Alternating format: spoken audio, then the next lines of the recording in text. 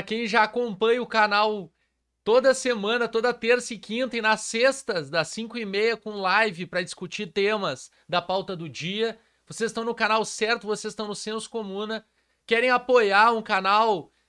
Marca na sinetinha, comenta aqui embaixo. E se quiser apoiar ainda mais, clica no Seja Membro porque o Norbert Elias trabalha com as teias, com a dança, do, com o jogo de xadrez para explicar a sociedade. Essa metáfora das teias de interdependência, enquanto um jogo e uma dança, e tu utilizou para explicar o funcionamento, por exemplo, de um espetáculo de teatro. Então, olha como é interessante, né? Porque é isso mesmo do que, que adianta toda a construção a gente acreditar que por trás de um espetáculo tá só os atores que estão em cena e esquecendo a parte técnica, a parte produção, a parte criação, de direção, de lapidação para o espetáculo ficar redondo.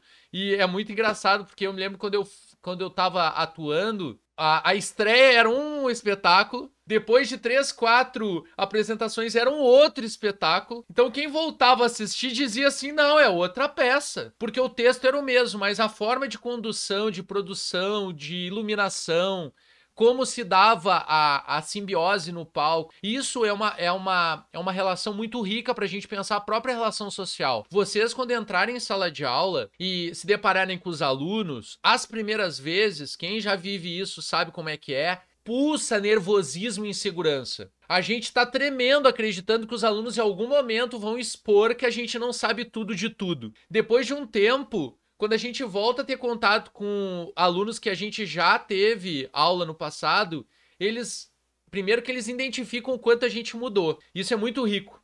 Essa mudança nossa enquanto atuação do papel do professor ou a nossa relação com essas teias que vão se estabelecendo, a gente vai ganhando alguns atalhos, algumas experiências. Então a gente já sabe algumas formas ah, não deu certo essa, então deixa eu ir por esse outro caminho que eu já experimentei, daqui a pouco nessa turma dá certo. Ou uma turma nos apresenta a possibilidade da gente criar um novo caminho e uma nova trajetória. Aquela turma tá pulsando uma necessidade diferente que a gente ainda não tinha experimentado enquanto contato com as pessoas. É muito rico para a gente pensar simbiose, a nossa própria trajetória como professor, o nosso eu, é modificado nessa relação de interdependência com os alunos. Então, sempre com um aluno, uma aluna me enxerga com quase 40 anos e assim, bah, professor, bah, que legal a tua aula, pô, eu queria entrar na aula amanhã assim. Na verdade, tudo que a gente, como professor, vai acumulando é de experiência nas relações que a gente estabelece com os nossos alunos. Então, são os nossos alunos os nossos verdadeiros professores. As nossas alunas é que nos transformaram. Eu agora estou terminando uma graduação em pedagogia e no estágio do semestre passado eu tive experiências, mesmo que remotas, com crianças que eu nunca tinha tido. Então enxergar o quanto eles ficam atentos, curiosos, sagazes. Criança é muito sagaz, ela faz a pergunta certa do que ela quer saber em cima do, daquilo que está apresentando de brincadeira, de música, de imagem. E, e, isso é uma riqueza muito grande que está me ajudando a me transformar também como professor universitário e o professor que eu quero ser quando eu atuar com crianças também. É muito bonito e até porque existe no nosso país uma hierarquia. Quem trabalha com as crianças parece que é um profissional menor do que aqueles que trabalham com formação científica. E países que levam a educação a sério é o oposto. Os melhores profissionais, os mais formados e os melhores pagos são lá que trabalham com berçário, com a creche, com o ensino dos anos iniciais. Por quê? Porque ali é a base fundante do tipo de ser humano que vai ter acesso depois da formação que ele vai receber. Falar do protagonismo enquanto professor, da experiência enquanto professor e trazer o Norbert Elias com a ideia, por exemplo, de função e de relações de poder, torna esse debate muito rico para a gente pensar a nossa própria constituição como professor. A minha vontade, assim, é assim que a pandemia passar, criar um grupo de teatro para professores porque, para mim, a performance, tu dá a ideia da performance, ao invés de ser um curso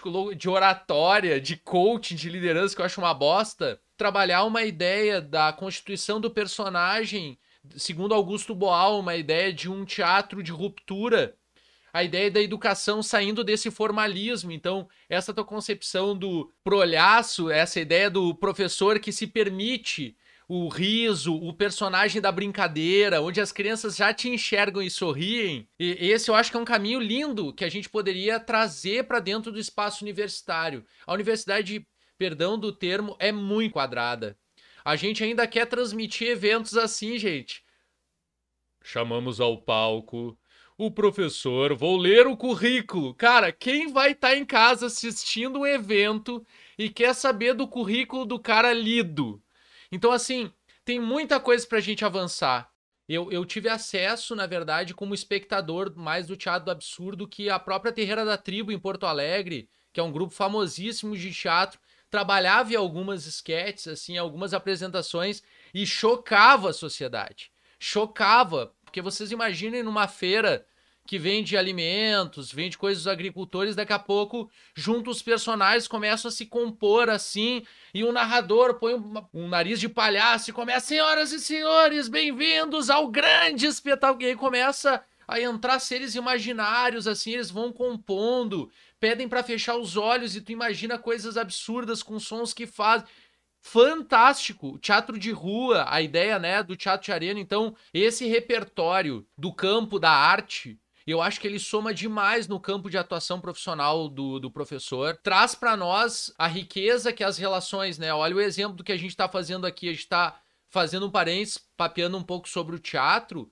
mas para os que ainda não conhecem esse universo ou só foram espectadores, sempre fica o convite para vocês se aproximarem de grupos artísticos mesmo que a gente não consiga, num contexto de pandemia, estar tá vivendo como o teatro necessita do toque, da proximidade, da interação e tal, mas a arte não morre com uma pandemia, né? É possível reinventar práticas, reinventar espetáculos, reinventar formas de produção. Vide as lives que estão acontecendo, multicâmeras, coisas que já estão sendo desenvolvidas, que é muito interessante pensar, né? São de relações, esse é o mais rico.